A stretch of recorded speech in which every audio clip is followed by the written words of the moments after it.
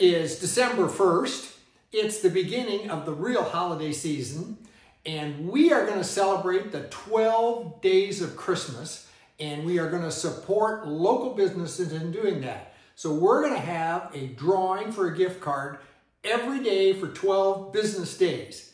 JJ, explain kind of how we're going to do this and how it's going to work. So, as Kirk said, we are going to promote a local business, which is on our VIP program, each day. Again, as he stated, we are not doing weekends. In order to enter for the giveaway, you have to enter each day. So, if you were to enter Monday, you have to enter Tuesday, Wednesday, and Thursday by sending an email to okobojivip at gmail.com.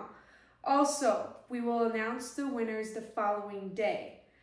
Cutoff is 7 a.m. the next morning.